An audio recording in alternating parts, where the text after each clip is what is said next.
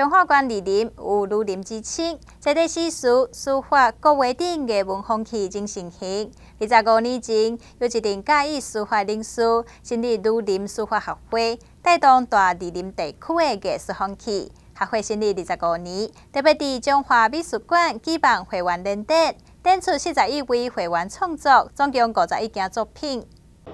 欣赏二林四乡镇书法名家的墨宝，感受大二林地区的艺术风气。成立二十五年的儒林书法学会，一会由四十一位会员带来五十一件创作，有各种字体作品，也有结合水墨画的创作。我们的协会啊，在民国八十六年，陈家生校长创立到现在啊，已经有二十五年了。那这一次的展览啊，啊展期虽然只有短短的两个礼拜，那有五十幅的作品啊，在这边展出，里面啊有篆。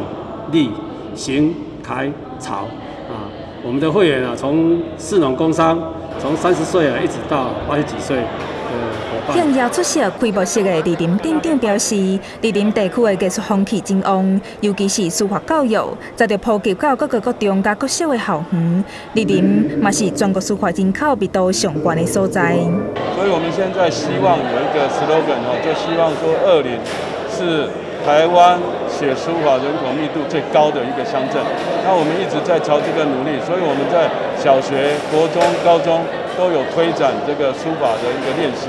然后我们今年度，今年度也首度办理了镇长杯书法比赛，这是全国性的。如林书法学会强调，每年举办会员等等交流，每年举办学生书法比赛，一会等等将会展出到十二月七夕为止。欢迎介意艺术创作民众来中华馆的美术馆参观，做会体会书画之美。